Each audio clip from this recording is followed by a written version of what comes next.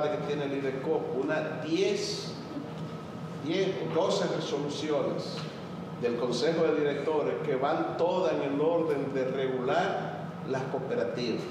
Y entrenamos, sobre todo, estamos muy de cerca con esa cooperativa, la grande cooperativa de ahorro y crédito en toda la República Dominicana. Entonces, ha sentido que el escepticismo y la falta de confianza en el sistema tenía sentido, por lo menos hasta hace poco. Así es. No más preguntas. Eh, sobre eso mismo, Sí. sí, sí. Perdón, su nombre.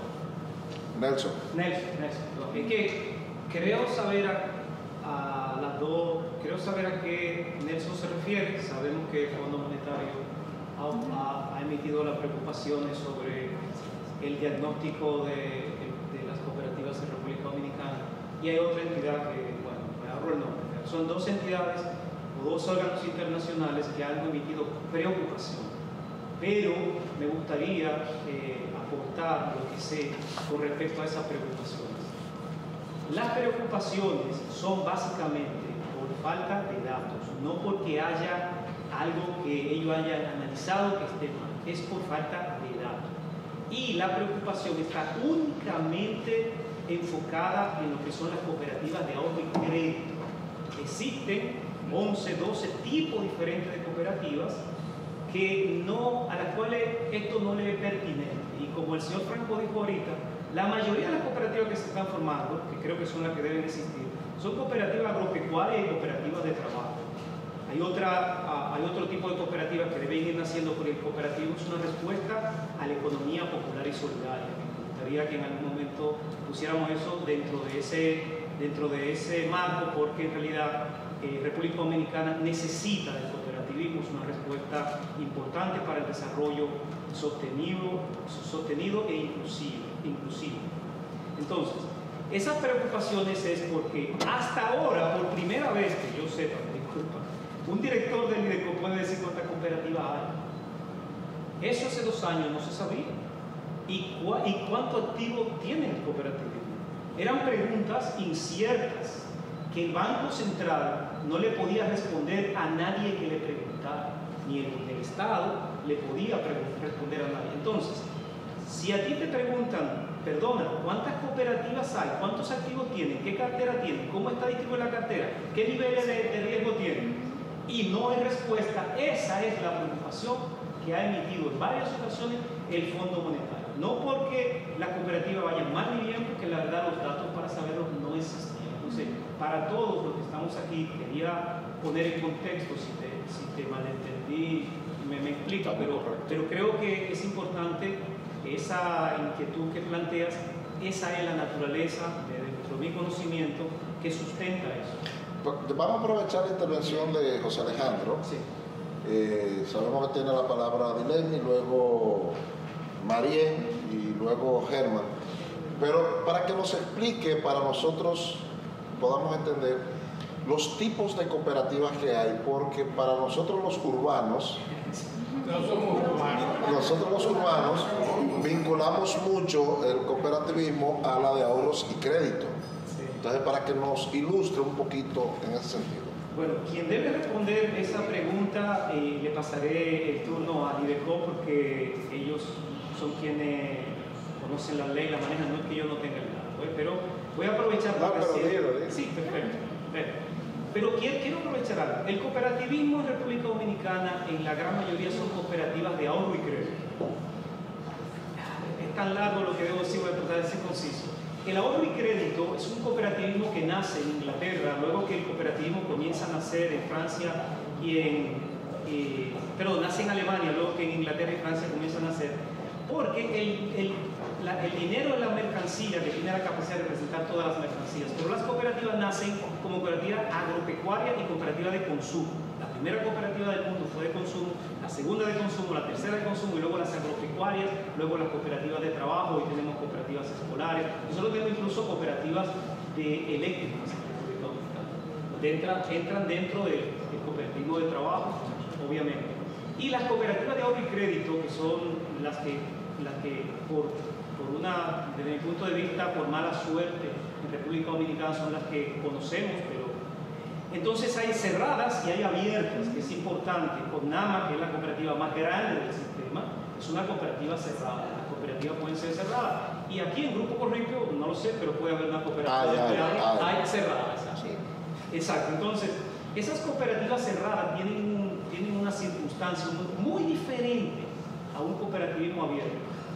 Porque eh, el ahorro y crédito, insisto, al, permitir a la persona brindarle capital, entonces le suplen todas las necesidades que el cooperativismo viene a suplir porque una necesitaban tractores, otras necesitaban mercancía, otras necesitaban educación, muy, muy importante, un tema que hemos dejado de lado y de las grandes virtudes que el cooperativismo puede aportar a la República Dominicana.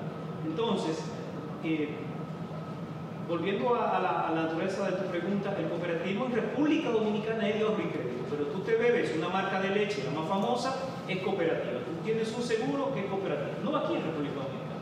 Pero en el mundo el cooperativismo está para fomentar la economía primaria y secundaria, convertir la economía primaria en secundaria. En Japón, 92% de toda la producción agropecuaria la hacen cooperativa. En Estados Unidos, el 40% de toda la producción eléctrica, perdón, la distribución eléctrica lo hacen cooperativa.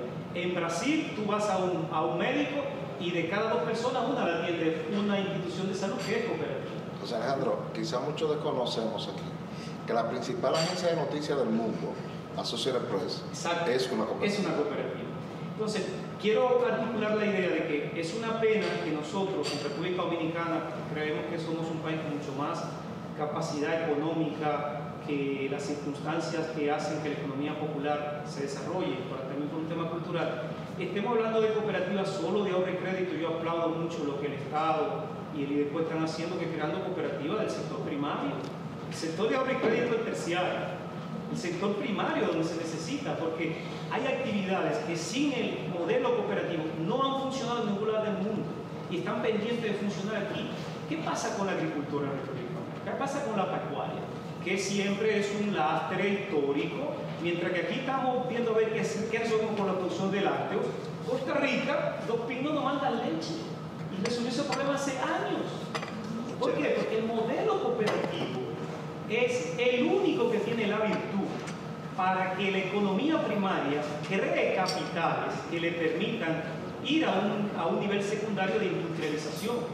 Entonces, las cooperativas aquí tenemos primariamente cooperativas de ahorro y crédito, las segundas más grandes son cooperativas de producción, cooperativas de consumo. Teníamos lamentablemente antes de la ley cooperativas escolares que aunque la ley hoy la permite no tenemos ninguna, a, a menos que sean creadas nuevas, hay proyectos de nuevas, pero antes de, 19 de 1962 existían las cooperativas eh, infantiles, escolares, que hoy ya no existen, pero la ley lo permite. Y para terminar la idea, cualquier actividad que se haga a nivel mercantil se puede, ver, se puede hacer a nivel solidario a través de la ley de cooperativas que hoy tenemos. Franco señalaba la necesidad de formarla, obviamente, sale a actualizarla para aprovechar, que actualizarla para aprovechar las oportunidades que las circunstancias de hoy nos dan. Y, y tiene, y- y la sociedad hoy está a gritos buscando soluciones que puedan enfrentar de manera sostenible el desarrollo y el cooperativismo es la mejor forma, pero hay que meter el cooperativismo en esos sectores que no lo tenían antes. El cooperativismo entonces abierto se convirtió en sinónimo de banca y no es nada que ver, ojalá tengamos chance, pero eh, el, el negocio de ahorro y crédito que hace una cooperativa, el negocio de ahorro y crédito que hace una banca, está llamado a ser totalmente diferente. No digo que no lo sea, está llamado a ser totalmente diferente. Eh, Dileni, Ustedes en las en Videocom tienen un mecanismo para evitar el lavado de activos. Claro. Mira, lo primero es que nosotros tenemos una, una dirección de lavado, de prevención de lavado de activos. En la constitución de una cooperativa, ese es uno de los primeros, de los primeros elementos. Cuando la gente se, por lo menos en esta gestión, cuando un grupo expresa su deseo de constituirse en una cooperativa, a esas primeras 15 personas que lo expresan, le pedimos su cédula, ¿verdad? Y una autorización, y con esa autorización nosotros, nosotros accedemos a una plataforma donde nosotros verificamos con esas personas. inclusive hay personas que se han rechazado, que no pueden ser parte de una cooperativa. Pero además, lo que nosotros supervisamos en todas las cooperativas, sobre todo de ahorro y crédito, la primera supervisión tiene que ver con la prevención de lavado educativo que se hace, se hace aparte, ¿verdad? Con todos los criterios que establece la, que establece la, la- la ley. Y hay, hay una unidad, de- hay una dirección de prevención con un equipo técnico bien, bien adecuado que vamos, que se está fortaleciendo aún, aún mucho más. Inclusive dentro de la dentro de las alarmas de la cooperativa que referimos, lo que nosotros pensamos en principio era un tema, era un tema de lavado de activos. Después vimos que más que lavado de activos era un tema de, de fraude, ¿verdad? Que se estaba. Eh, Marian, capitán. Sí, yo quería Sí, eh, perdón, Marian, ella quiere perdón.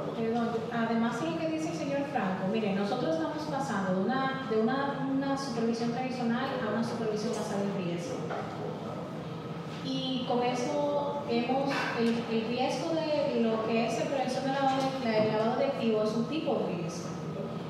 Bueno, ya el señor Franco le habló de la implementación de una matriz de riesgo, que lo estamos haciendo de manera procesual con algunas cooperativas, pero algo que nosotros hemos establecido en el marco de ese fortalecimiento de- del área de supervisión es que por primera vez en la historia, el IDECO, la unidad de, de- de análisis financiero, le permitió un código donde la titular de- de- de- del área de la Dirección de Prevención del Lavado de Activos puede revisar los reportes de los ROS, de los, de los reportes de operaciones sospechosas que emiten las cooperativas, pero además vamos a poder ahora crear, nosotros mismos vamos a poder crear esos reportes.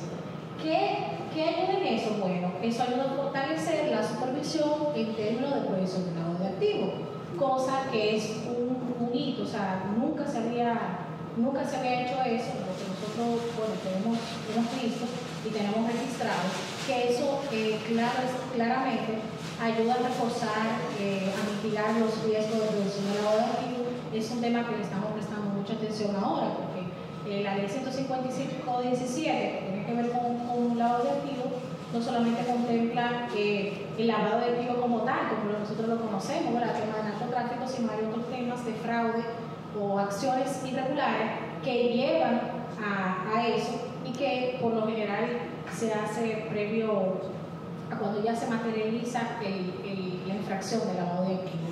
Y solamente acotar de que nosotros estamos reforzando la parte técnica de, de esa área y de todas las áreas de todas las áreas del IDECO, donde por ejemplo cambiamos la titular del área, una persona con vasta experiencia so- sobre el área. O sea que estamos haciendo muchísimos esfuerzos para fortalecer. Marian. Sí, quería preguntarle a propósito de todo este trabajo que tiene que hacer de supervisión, ¿cuántos supervisores tiene el IDECO? ¿En qué áreas centra más esa supervisión? Y cada uno de los supervisores, ¿cuántas cooperativas supervisa? Lo pregunto porque yo fui presidenta de la cooperativa de aquí y sé que siempre ha habido muchos problemas con el tema de supervisión. Mira, nosotros tenemos varios supervisores. ¿Varios son cuántos? Ya me paso. Mira, nosotros, nosotros tenemos, tenemos varios. No se distribuyen por cantidad de cooperativas, sino por, por el tipo de cooperativa. Eh, hay, hay diferentes tipos de técnicos. Yo te digo varios, es porque nosotros tenemos por, por, por categoría, ¿verdad? Nosotros tenemos alrededor de 60 técnicos, ahora lo tenemos por diferentes categorías.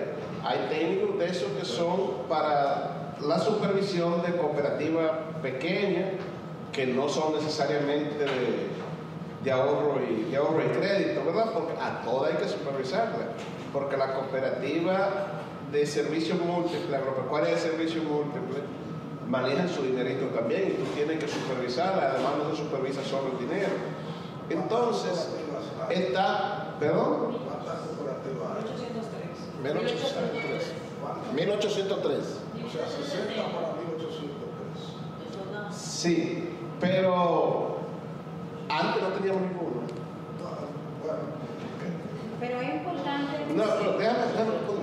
Entonces, mira, nosotros tenemos para las cooperativas que son, que tienen alto volumen, ¿verdad?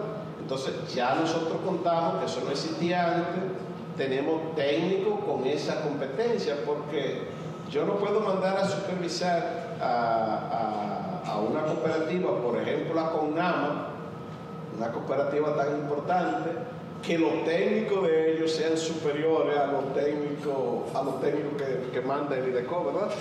Entonces, ese ha sido un trabajo bastante difícil porque el adaptar el presupuesto de nosotros a un técnico de competencia, eso nos costaba a nosotros hacer magia.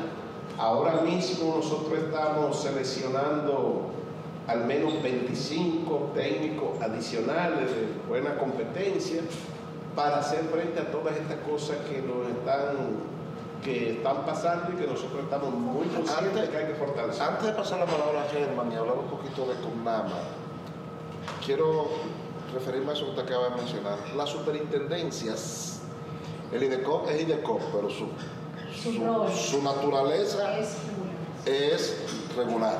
Es, un- es una superintendencia en su rol. Todas las superintendencias que nosotros tenemos son ricas. Porque el mismo sector la financia. La superintendencia de, de bancos. de banco, la de fondos y pensiones, la de, la electricidad, todas tienen tan vía. El mismo sector la, la financia justamente para que no ocurra lo que usted decía, de que tengan personal inadecuado y que puedan pagar buen personal y además el correcto, porque a don Bienvenido le extrañaba 60 técnicos para 1083. Pero hay algo que debo acotar y es que está la supervisión in situ y extra. Si, nos, si tomamos el cálculo, que es lo que yo entiendo que están tratando de hacer, de dividir entre la 1803 entre las 60, lógicamente No, pero, pero, pero al margen de la 1803 a la 60, el IDECO es una institución famélica. ¿Cuánto tiene de Es una, presupuesto? es una institución famélica. No han, no han contemplado usted algún mecanismo, al igual que las otras superintendencias, para que ese órgano regulador se fortalezca económicamente y pueda hacer adecuadamente sus funciones. Y nos gustaría saber cuál es el presupuesto del IDECO para hacer el trabajo tan importante que tiene que hacer. Sí. Eh, me encanta esa pregunta y gracias, porque yo creo que este espacio es una gran oportunidad para entender bien. Eh, nosotros creemos que el el IDECO, así como usted dice, mayores recursos para hacer una supervisión más eficiente. Se, a través del, del proyecto de ley que le habló el señor Franco, la ley que se sometió, pues son de los aspectos que se, están, se han sometido. ¿Por qué? Porque estamos trabajando con una ley de mucho tiempo, ahora mismo solamente contamos con 306, 309 millones eh, de presupuesto y lógicamente en nómina prácticamente eh, se va en más del 80%, el 80%. Eso es algo que nosotros tenemos conocimiento. Y también tenemos conocimiento que para supervisar de manera eficiente necesitamos buenos técnicos, necesitamos eh, herramientas, elementos.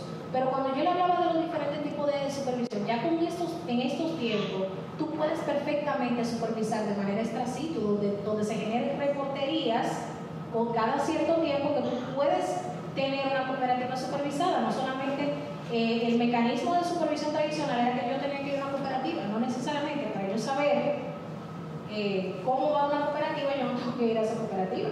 Si hay mecanismos eficientes, que es lo que nosotros estamos tratando de fortalecer, como yo decía ahorita. El mecanismo tradicional era nos- ir a visitar una cooperativa, pero no necesariamente. Ahora bien, que si eh, estamos tratando nosotros de fortalecernos en términos tecnológicos y el plan de supervisión que nosotros tenemos ahora mismo se está contemplando a partir del nivel de riesgo que tiene una cooperativa. Y ahí establecimos criterios para medir el nivel de riesgo y así poder hacer la supervisión en sí. Una, una puntualización a eso. Mira, eh, eso que acaba de decir, de decir Licen, dos cosas nada más. Mire, eh, la, super, la superintendencia, todas, no es, hacen su supervisión, la mayoría, la mayoría de los casos, en función de lo que establece, de lo, de lo, de lo que acaba de establecer, de establecer licencia. A veces no es que tú necesitas tantísimas personas porque no es que tú necesitas, tú necesitas tener buenos técnicos y disponer de recursos para poderle pagar buenos salarios.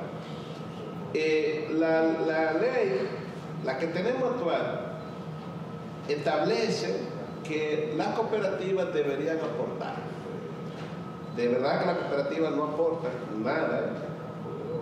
La ley que tenemos, el proyecto de ley que presentamos, a pura rueda, logramos con el sector cooperativo un aporte más o menos. No que ese aporte sería lo suficiente para que el IDECO pueda, o la instancia que surja de esa ley, pueda ser una instancia fuerte, porque eso implica que esa ley, si se aprobara, el IDECO, en nuestro cálculo, iría por esa vía, podría conseguir algunos 250 mil pesos, algunos 250 millones.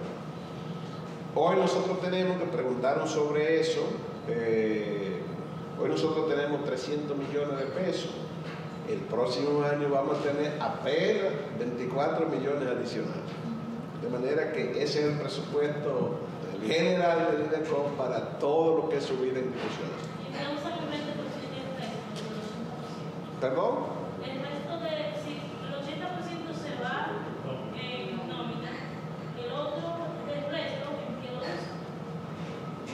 lo En toda la actividad, en compra de vehículos, en, en la supervisión, pues, eh, una sola cooperativa, esa cooperativa que yo le hablé de- del Cibao, ese proceso, ¿usted sabe cuánto nos costó a nosotros? Casi 5 millones de pesos. Solamente contrata un perito. Perdón, yo quería aportar algo, porque es que el cooperativismo, insisto, no lo entendemos bien a nivel, digamos. Las cooperativas cuentan en la ley, están, a- deben estar, y la mayoría están, hay nueve federaciones. Y esas federaciones hacen un rol con el IDECO también de fortalecer y, y- y- apoyar esas cooperativas. Y además de esas nueve federaciones, hay un Consejo Nacional esa, el IDECO, esas nueve federaciones y el Consejo ayudan a que ese trabajo se haga. De hecho, toda la ley y los reglamentos hablan de, de- de trabajar en conjunto entre el IDECO como órgano superior, pero siempre trabajando a través de las federaciones. En el caso mío, que representa una federación, tenemos 22 cooperativas. Y, esas, y toda la información que el IDECO necesita, eh, comúnmente colaboramos, se mandan. Y oigan bien, en el caso nuestro que tenemos, bueno, perdón que se va a oír feo, pero son las cooperativas más grandes, entonces no tenemos el problema que tiene el. Entonces nosotros sí tenemos sistemas y tenemos sistemas donde las cooperativas suben unos datos que le pedimos, algunos diarios, algunos semanales, algunos mensuales, algunos trimestrales, otros anuales, e inmediatamente suben el dato, tiene un diagnóstico que a nosotros nos da una alerta y a la cooperativa le da una alerta. Y esa alerta dice, mira, tienes que trabajar aquí, y entonces se trabaja. El ICE trataba de decir algo importante, y es que eh, hay, hay apoyos y el plan de trabajo se hace donde se necesita. Una cosa más quiero agregar, todas las superintendencias son de actividades, no se confunden. La superintendencia de bancos, el banco es una actividad. La superintendencia de electricidad, la de telecomunicaciones. En el caso del cooperativismo, la cooperativa se hace, se hace queso y se hace ahorro y crédito y se hace metalmecánica y se hace educación. Entonces, una superintendencia para el cooperativismo tenemos que saber concebirla, no es lo mismo. O sea, en otros países hay experiencia de superintendencia de economía social o popular y solidaria. Se Pero, claro, se segmenta porque tiene un alcance totalmente diferente. Una cooperativa viene allá y dice, nosotros somos, eh, el señor Franco dijo, salonera. ¿Y, qué, ¿Y cómo tú ayudas a una salonera a comprar el producto, que es parte del rol, porque es fomento, instituto de Eh. fomento? ¿Cómo tú tienes un- una organización que pueda ayudar a la salonera a comprar a comprar insumos de salón y a la CONAMA ayudar a manejar, su, su riesgo de liquidez, por decir algo. Pero también están los 15 queseros, están los lecheros. Entonces, ojo con el tema de superintendencia cuando hablamos de cooperativismo, porque la superintendencia fiscaliza actividades y el IDECO maneja todo un renglón dividido en dos, la economía, según la Constitución de la República Dominicana, es una economía abierta de mercado donde tiene espacio la economía popular y solidaria. Entonces, eso te da dos tipos de empresas. Empresas mercantiles, como el grupo Corripio, una empresa mercantil con lucro, y empresas solidarias, donde están las cooperativas. Entonces, todo lo que es solidario de naturaleza cooperativa lo tiene que ver IDECO. Imagínate entonces, el Ministerio de Industria y Comercio, que es donde va en la constitución de todas las empresas mercantiles, imagínense el tamaño que eso tiene, cuántas cámaras de industria y comercio hay, de cada naturaleza hay una diferente. Entonces, es importante cuando vayamos a hablar de esto, no caer en errores que otros países han caído, y de hecho, el Consejo Mundial de Cooperativas de Ahorro y Crédito nada más en el 2020 logró que, que el Comité Basilea, que es el que rige los principios mediante el cual se va a hacer ahorro y crédito o la entidad financiera en el mundo y la que rige a todos los bancos en el mundo entero, el Comité Basilea le dijo a las cooperativas de ahorro y crédito, ok, acepto que ustedes tienen un modelo de riesgo diferente porque las cooperativas tienen un gobierno único, ¿eh? tenemos que hablar de eso, las cooperativas tienen equilibrio corporativo en su ley, que no lo tiene en la empresa mercantil, además de que tiene la reciprocidad, que no lo tiene ninguna otra empresa, o sea, yo no puedo ir a Rica y decirle cómo manejen su, cómo manejen, yo compro leche rica, pero yo no le puedo decir cómo distribuyen su presupuesto. ¿Cómo, sugi- cómo sugiere usted entonces que deben ser supervisadas las cooperativas? Nosotros estamos haciendo un esfuerzo, como dijo Franco, estamos haciendo consenso lo importante es que todos entendamos eso. Una cosa es supervisar la actividad y otra la cooperativa. Si usted, para responder su pregunta, la cooperativa tiene algo que la hace supervisable en el- eh, a nivel que es el cumplimiento de ese principio solidario, se llama balance social. Y así, la Alianza Cooperativa Internacional tiene una herramienta y tiene una metodología para que no importa de qué haga la cooperativa, y esa superintendencia que se dice que se divide, una para vigilar la filosofía, porque si se cumple la filosofía, ninguna cooperativa va mal. Entonces, si tú vigilas la filosofía, ese organismo máximo de cooperativo, de asociatividad cooperativa que él hace, tiene esa herramienta, nos- obviamente las cooperativas las tenemos, una tiene un modelo, nosotros en nuestro gremio tenemos una, y entonces ahí se vigila, ahí hay una batería de 200 y pico de indicadores divididos en nueve grupos, que se vigila si una cooperativa está cumpliendo o no, y eso es lo que en principio deberíamos, eh, eh, deberíamos propugnar, porque no un IDECO, una entidad, superintendencia, como queramos llamar, de economía social y solidaria, debe hacer primero. Ahora, insisto, lo otro no desaparece. Pero hay actividades bancarias en la. Sí, por eso, sí, pero un banco y una cooperativa, la cooperativa tiene primero que cumplir con los principios. Y, ese organismo tiene que hacer que la cooperativa cumpla con los principios, por ejemplo, el está poniendo mucho esfuerzo en la educación. Hay un tema educativo que, estamos, digamos, menos pendientes y que lo hacemos mejor que nadie, pero todavía podemos mejorar mucho. Entonces, esa, institución, lo que el IDECOP hoy, con lo poco que tiene, trabaja, a mí me da gusto que con lo que tiene, trabajan con lo que tiene y no miran lo que no tiene. Entonces, eso tiene que vigilar que cumplan con la filosofía primero y, y después hay que mirar si tú haces queso, como, si tú compras conjuntos, si tú tienes enseñanza, si tú tienes una compañía de taxi, si tú eh, haces ahorro cerrado abierto, entonces se, se regula después la actividad. Pero hay que regular primero y también más bien la esencia de lo que es. Quiero contar algo sobre eso mismo. Miren, el cooperativismo a nivel mundial ha evolucionado. ¿Por qué ha evolucionado el mundo? Ahora bien, ¿a qué? Yo creo que no solamente los que estamos en el mundo de cooperativas, sino todos. Creo que, que deberíamos de apoyar a que por ser un país productor y agropecuario y también que desarrolle actividades financieras, apostemos a fortalecer la legislación del cooperativismo. ¿Por qué? Porque hay que también unificar los conceptos. Y eso ha pasado a nivel mundial. Por ejemplo, en Ecuador, tú tienes una superintendencia de economía social En popular y solidaria, lo mismo que social también, Sí, sí, ¿verdad? Lo mismo. A veces los, lo usan de lo dividen, pero ellos tienen cooperativa financiera, cooperativa no financiera. Llámese aquí, por ejemplo, la cooperativa financiera son la de ahorro y crédito, la no financiera, Todas las demás. son todas las, todas las demás que en términos de supervisión se toma en cuenta esa segmentación por el tema de riesgo. Y quiero decirlo para contextualizar un poco, porque es bueno que todos manejemos esos conceptos. Ahora bien, todas las cooperativas, como manejan recursos de tercero, hacen intermediación financiera, una más, otra menos, lógicamente. Y por eso nosotros estamos haciendo un gran esfuerzo. Y sí, el IDECO tiene dos roles, que quizá un- una situación de origen que se debe corregir con la ley, que tenemos dos roles, el rol como decía eh, José Alejandro, de fomentar y desarrollar cooperativos, pero al mismo tiempo de supervisar. Ahora bien, mientras se corrige o mientras se implementa la ley o los organismos que pudieran surgir de esa ley, nosotros tenemos que hacer frente a las situaciones que, se, que, se- que lleguen al sector cooperativo.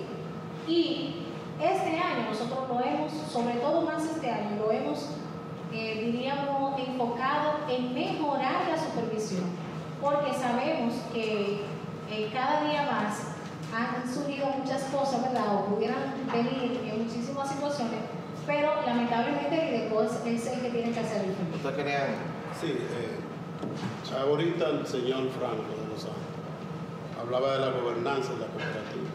Las cooperativas son supervisadas, son fiscalizadas. En la cooperativa existen tres órganos sociales, que es un consejo de administración, un consejo de vigilancia y un comité de crédito. Obviamente, cada asamblea de la cooperativa es la autoridad máxima de esos, de esos órganos sociales. Pero hay un área que es el Consejo de Vigilancia. El Consejo de Vigilancia tiene la, la labor de fiscalización interna de toda la cooperativa, de, de su cooperativa.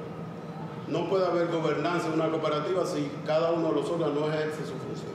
Y el Consejo de Vigilancia tiene como auxiliar las áreas de auditorías internas. Auditoría interna de la cooperativa es, eh, funciona más o menos como la, ¿qué le digo? La, lo que tiene que ver con lo que fiscaliza internamente al gobierno, que es la Contraloría de la República, por ejemplo. Vigilancia hace esa función, fiscaliza, todo pasa por allí. Y, por ejemplo, en Conama, nosotros tenemos en nuestra data y ellos tienen acceso a ella. Todas las operaciones son fiscalizadas por auditoría. La auditoría hace un reporte mensual a vigilancia y vigilancia en cada una de las reuniones que tiene, ellos conocen esos informes de auditoría y si hay algún hallazgo en esos informes de auditoría interna, entonces sus resoluciones van encaminadas a resolver ese tipo de problemas, ese tipo de inconvenientes, alguna violación del procedimiento interno, alguna violación del control interno, etcétera. El comité de crédito y el consejo de administración también son fiscalizados por vigilancia, porque el crédito tiene a cargo, a cargo ejercer todo lo que tiene que ver con la política de servicio de la cooperativa. Entonces, vigilancia ve que crédito está cumpliendo exactamente con lo que establecen esas políticas de servicio y con lo que establecen nuestros estatutos. En el caso de Conama, el artículo 12 define cuáles son esos órganos de control del estatuto, el artículo 12 del estatuto. También fiscalizan al Consejo de Administración. Vigilancia tiene el poder de vetar una resolución del Consejo de Administración.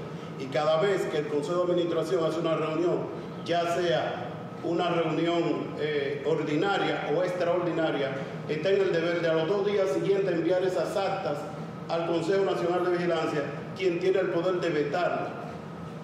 Lo que implica que internamente